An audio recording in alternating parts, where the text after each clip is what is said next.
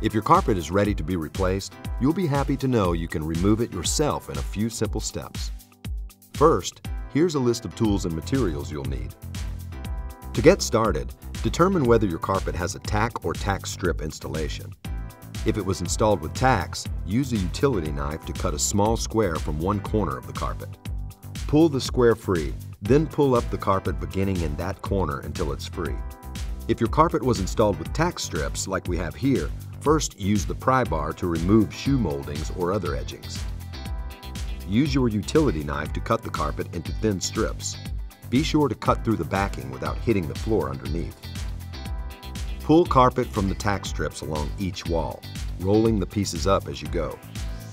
Unless you're saving it for scrap, dispose of the rolled carpet in large garbage bags.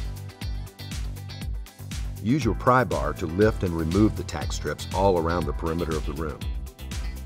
Once your carpet is up, it's time to remove the carpet pad. If the carpet pad was secured with staples, use pliers to pull them individually from the floor. If it was attached with adhesive, you may have to scrape it up or use a commercial adhesive remover. Removing a stained and time-worn carpet is a surprisingly easy task, even if you're new to DIY. Just follow these steps to get the job done. Thank you for shopping at the Home Depot.